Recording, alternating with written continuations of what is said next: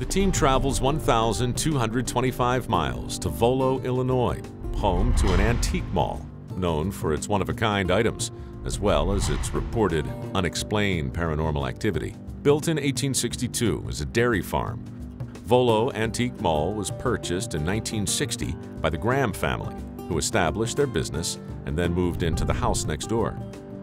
The mall is now home to countless antiques, artifacts, and family heirlooms. These objects, once cherished, are now relics of forgotten times, forgotten memories, forgotten lives. The current manager of the Antique Mall is a woman named Lisa, and she's apparently had a lot of experiences here. So we want to start out by talking to her and getting some details about what's going on. I saw these cranberry beads, and when I came in the next day to turn on the lights, the beads were in a circle on the floor, just Wow. perf perfectly placed into a circle. And um, rows of books were just on the floor, like purposely lined Like up. Like a domino type. Mm-hmm. And I heard multiple feet running around up there, like in a circle above me. It was Above above the first floor. Okay. Yeah. Interestingly, in the Graham family home next door, there are also some unusual reports, which raise the question as to whether there's some connection between the two locations.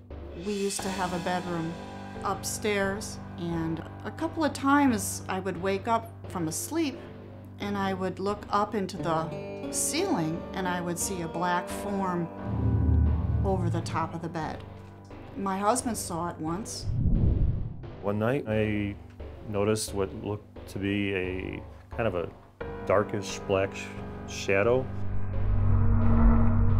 My mind kicked in and realized there's somebody in my room.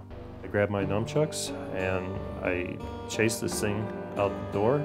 Didn't see anybody, flipped the lights on in the kitchen, in the hallway, absolutely nobody. Paranormal experts use their arsenal of technology to investigate the supernatural. The new series Ghost Lab, Tuesdays at 10 after Dirty Jobs. It's all new on Discovery.